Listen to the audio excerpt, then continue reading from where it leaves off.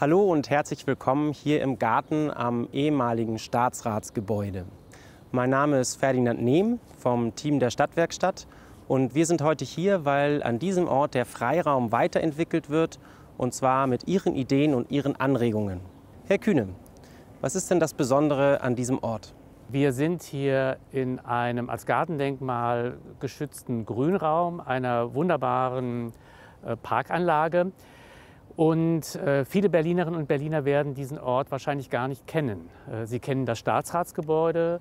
Ähm, manche werden auch die prominente Institution, die hier Hausherrin ist, kennen, die ESMT, die European School for Management and Technology. Das Land Berlin hat dieses Areal langfristig ähm, an diese Hochschule verpachtet und gemeinsam mit der Hochschule sind wir dabei herauszufinden, welche Neubau- und äh, Entwicklungsperspektiven es hier gibt.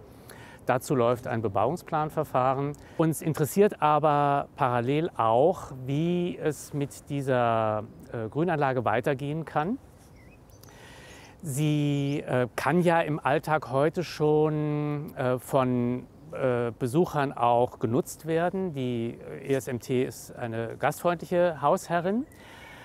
Aber es gibt auch viele im Umfeld, die hier wohnen, die als Touristen unterwegs sind oder vielleicht auch nur neugierig sind, ähm, die diesen Bereich insbesondere am äh, Spreeufer, am Kanalufer, noch intensiver nutzen möchten.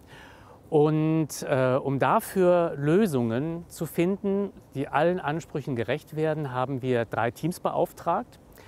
Die Ergebnisse stellen wir ja in diesem Rahmen vor. Und äh, wir werden bald in einer Jury ähm, Entscheidungen treffen, welches Konzept am vielversprechendsten ist. Und in diese Juryentscheidungen sollen auch die Beiträge von Bürgerinnen und Bürgern einfließen, ähm, damit wir eben wissen, was hier tatsächlich gefragt ist. Um Ihre Ideen und Ihre Anregungen äh, für die Juryentscheidung mit einzuholen, führen wir drei Online-Umfragen durch auf der Plattform meinberlin.de. Sie können Sie sich das auch ähm, nach Hause schicken lassen, postalisch.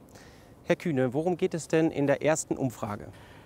In der ersten Frage beschäftigen wir uns äh, mit den Nachbarschaften, also damit, äh, welche Anforderungen die Nutzerinnen und Nutzer in diesem Bereich haben.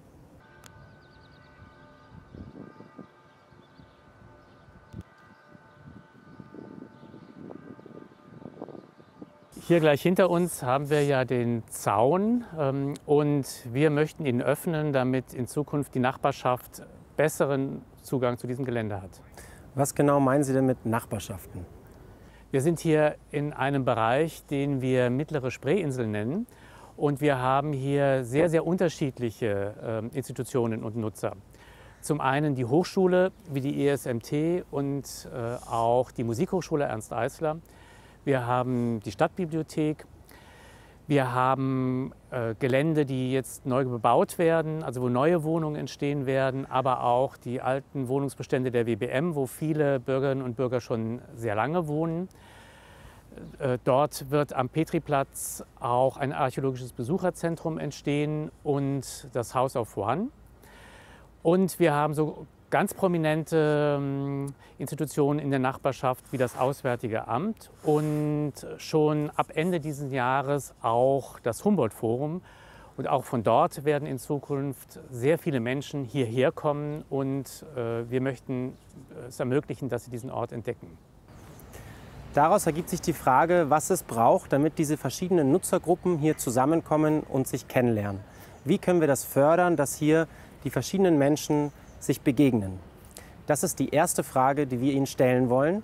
Auf der Online-Plattform meinberlin.de in einer Umfrage oder auch in dem Beteiligungspaket, was wir Ihnen gerne postalisch nach Hause schicken. Sie finden dort dann eine Karte diesen Ortes vor und können in diese Karte Ihre Ideen eintragen, wo welche Aktivität möglich ist und wie man mit diesen Aktivitäten möglichst viele Menschen zusammenbringt. Wir sind gespannt auf Ihre Ideen. Viel Spaß!